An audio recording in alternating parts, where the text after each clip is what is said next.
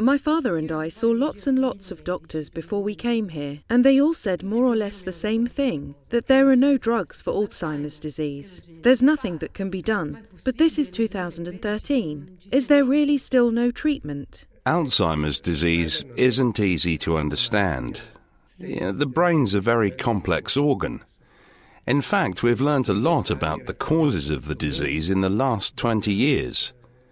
What my colleagues meant is that there are no drugs that can slow down or stop the progression of the disease. There just aren't any. We do have symptomatic drugs, which can improve some of the symptoms, some of the problems caused by the disease, in a certain proportion of patients. Not all, about one in three. In particular, they help with attention disorders. Patients who respond to these drugs are brighter. They interact more with the world around them. They participate more in family conversations, in family life generally. They're not very effective on the memory, on memory disorders. Those are still there and continue to get worse. But an even smaller percentage of patients around 5%, actually start doing things again that they had given up doing.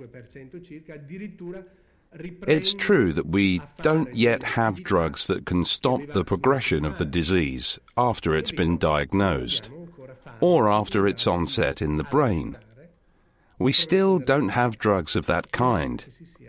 We don't yet have drugs that can modify the natural progression of the disease but we do have symptomatic drugs. They're available from pharmacies and they're of two types cholinergic drugs and glutamate blockers. They act on two neurotransmitter systems which are particularly hard hit in Alzheimer's disease. Unfortunately, the disease doesn't affect only these two neurochemical systems. It affects a large number of neurochemical systems, and that's why it's so difficult to treat. It's not like Parkinson's disease, in which the damage is mainly to one system, the dopamine system.